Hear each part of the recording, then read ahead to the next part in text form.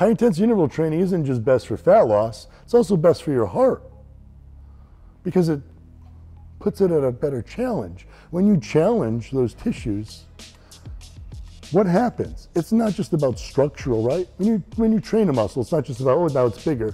It's about the metabolic processes in that muscle.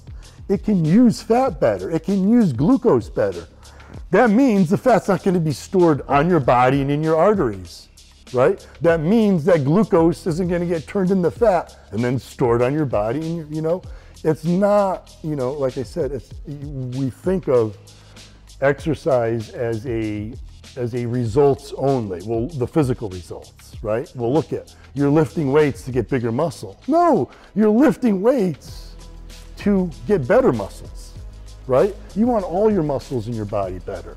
You want all your muscles using fat better, knowing how to use glucose better. That's what's going to prevent obesity. That's what's going to prevent heart disease, right? That's what's going to prevent those metabolic disorders, type 2 diabetes. It's training every muscle tissue in your body, not so that it just looks better, but so that it performs better, you know, from a metabolic standpoint.